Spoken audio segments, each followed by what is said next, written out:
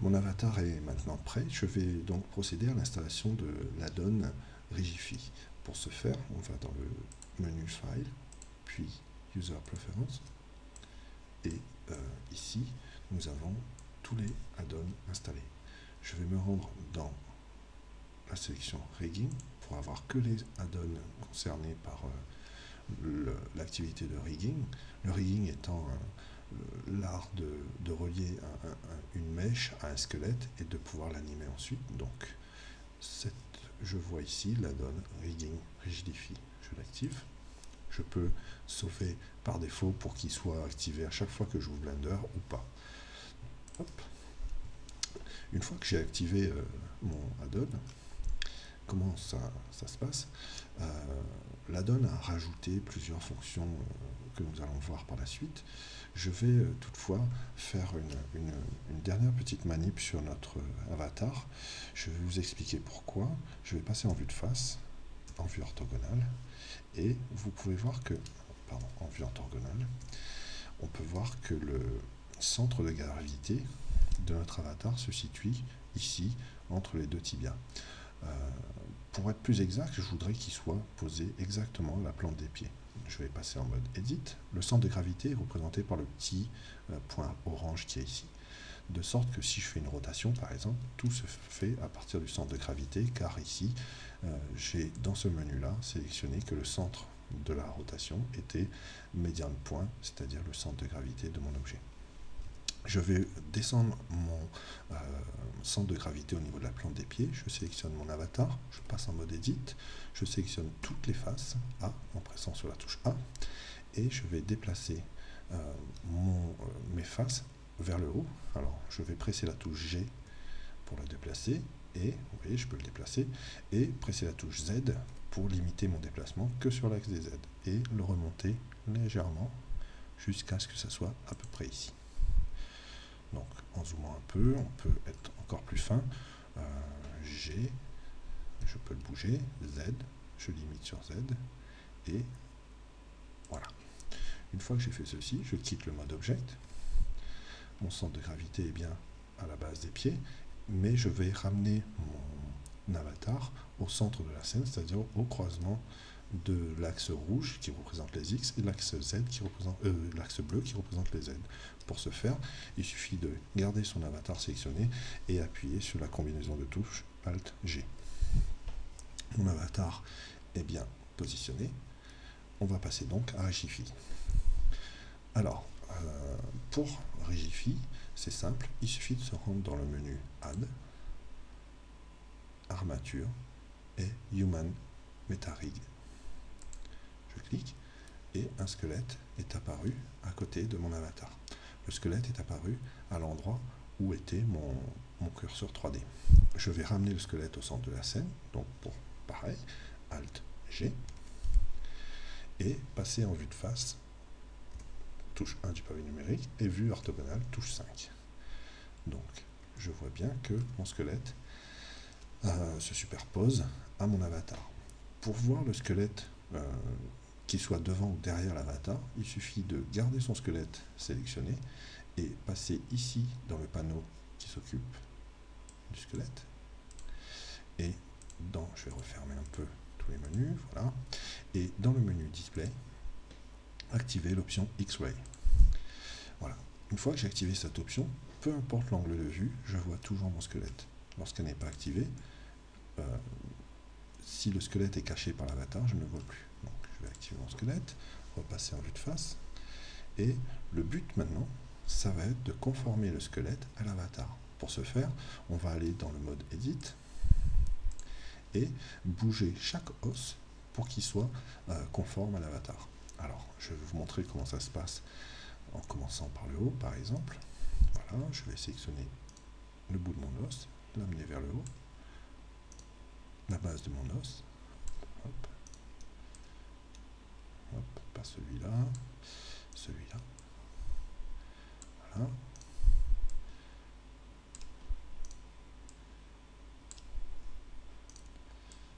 Comme ceci. On va mettre les épaules. le coude. Et vous vous voyez que ce que je suis en train de faire là, j'aurais pu euh, accélérer grandement mon travail en activant l'option qui est ici, X-Axis Mirror. Je vous montre, une fois qu'on a activé X-Axis Mirror, on peut déplacer les points et Blender répercute de l'autre côté le déplacement de nos points. Ce qui permet de gagner beaucoup de temps. Voilà, pour ce qui est de... je vais prendre toute la main, donc A pour désélectionner, ou encore A pour être sûr de n'avoir rien sélectionné, touche B pour box, prendre la main, l'emmener ici à peu près, voilà, et continuer mon travail jusqu'à ce que euh, les os soient parfaitement positionnés euh, par rapport à mon avatar. Voilà. Au besoin, je peux passer en vue de côté, touche 3 du pavé numérique, et ajuster mes os à l'intérieur du corps.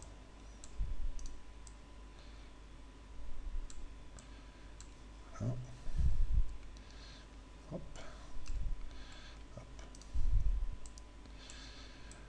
Lorsque l'on fait ce travail, euh, l'important, on peut, on peut, vous l'avez compris, les boules qui se situent ici, la tête de l'os, définit la, rotation.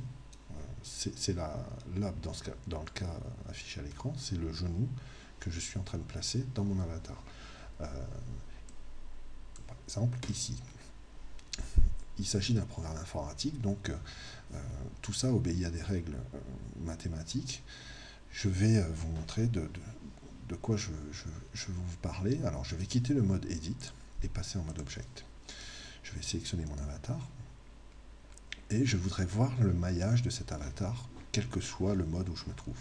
Donc, je vais me rendre dans le panneau représenté ici par le petit cube, le panneau Object. Fermer un peu tous ces menus. Voilà. Passer dans le menu Display et à la place de ici, cocher cette action, le fait d'avoir coché cette case, affiche le maillage de, euh, ma shape sur, euh, sur mon avatar. Une fois que j'ai fait ceci, euh, si je repasse en vue de face, on peut s'apercevoir que le maillage n'est pas forcément complet. il est un peu, Blender a simplifié un peu pour accélérer l'affichage. Moi, je voudrais qu'il m'affiche tout, le maillage de, de mon avatar. Mon avatar est toujours sélectionné. Je vais appuyer sur la touche N pour ouvrir le panneau des propriétés qui se trouve ici, N. Et je vais me rendre dans Display aussi. Et ici, j'ai une case All Age, toutes les lignes. Donc, regardez bien, ici par exemple, Blender a simplifié. Et là, quand j'appuie, il me met exactement tout le maillage. Pourquoi je veux faire afficher le maillage? Euh, Vous allez vous rendre compte que...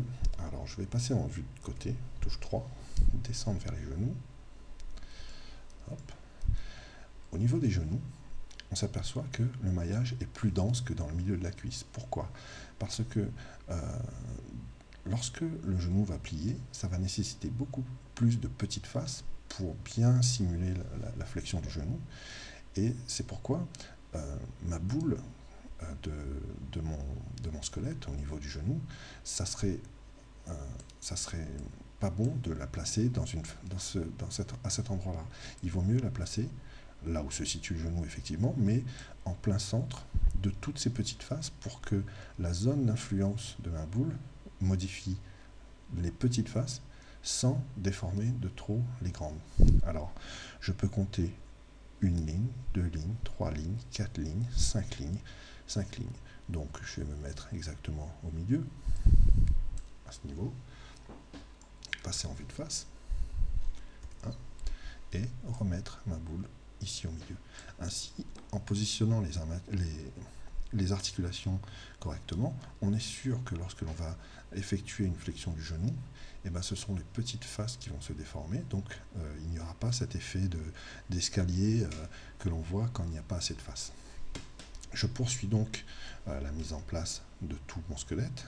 Donc pour le pied, je vais tout désélectionner, appuyer sur la touche B, sélectionner tout le bas du pied et l'amener au milieu. Passer en vue de côté, je vais bouger la cheville, la mettre au milieu, le talon, le relever un petit peu, le bout des orteils.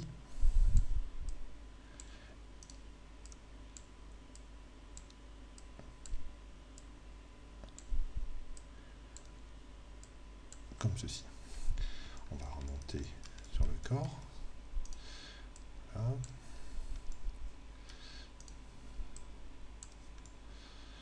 Voyez que le fait d'être en mode X-ray permet de voir le squelette dans n'importe quel angle de vue. Donc, voilà, la base du corps est, est, à peu près bien placée. Je vais passer en vue dessus, touche 7 du pavé numérique, et placer mes coudes correctement. Le problème euh, des coudes est le même que celui des genoux. Vous voyez qu'au niveau du coude, j'ai beaucoup plus de lignes qu'au niveau, pardon, au niveau de l'avant-bras du bras. Donc je vais placer ma boule au milieu, à peu près et continuer de placer mon squelette. Nous arrivons dans une zone qui est un peu plus euh, contraignante à faire, c'est les mains. Ce sont les mains. Voilà, donc et euh, eh bien là, il faut prendre son mal en patience et positionner correctement chaque, euh, bout de doigt pour, ensuite avoir une main qui est correcte. Voilà, j'ai accéléré euh, le travail. Euh, je me suis aidé à chaque fois en, sélectionnant le mode X-Ray ou en le désélectionnant. Il suffit de passer en mode Object, le désélectionner ou le sélectionner. Euh, changer l'affichage du squelette au cas où, par exemple, le passer en solide quand c'était c'était plus facile. Le, plus gros, le plus gros du travail étant de, de, placer correctement les doigts, mais on arrive, on arrive facilement à, un bon résultat. Euh, moi, pour ma part, ce que je fais, c'est que je me place en vue de, en vue de face, que euh, je me dirige vers une main, voilà, et que euh, je place toutes, mes, toutes mes articulations à peu près au même niveau au départ, en agençant correctement les, les différentes articulations. Je repasse ensuite en vue de dessus, en pressant la touche 7 du pavé numérique je les replace dans ce plan-là correctement. Et ensuite, je termine en passant par exemple l'affichage du squelette non plus en mode solide mais en mode wire. Et je peux ainsi bouger et faire, euh, faire euh, entrer le, squelette dans les doigts euh, de mon personnage. Ceci étant fait, notre, notre squelette, alors je vais revenir en vue de face, passer le squelette en vue solide. Ceci étant fait, notre squelette est maintenant conforme à notre shape.